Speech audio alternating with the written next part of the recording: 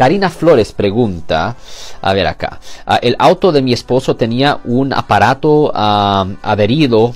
por estar en libertad condicional por un DUI y una noche se descompuso su auto y usó el de un amigo para ir al trabajo por alguna razón lo detuvieron y al dar su información lo bajaron, revisaron el auto y encontraron marihuana. So, la marihuana no es el problema acá. El problema es que él estaba conduciendo un auto sin esa máquina. La razón es porque si él fue ordenado por un juez a tener esa máquina